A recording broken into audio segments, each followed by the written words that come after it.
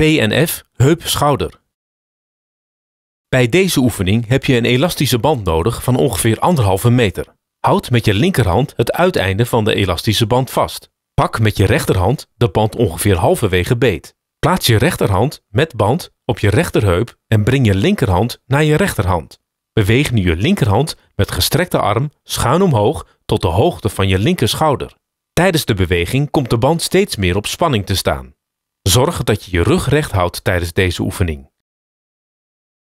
Na voldoende herhalingen wissel je van arm. Je kunt deze oefening ook doen met een gewicht van maximaal 1,5 kilo. Houd dan het gewicht in de hand waarmee je de oefening uitvoert. Herhaal deze oefening per arm zo vaak als aangegeven in de instructie.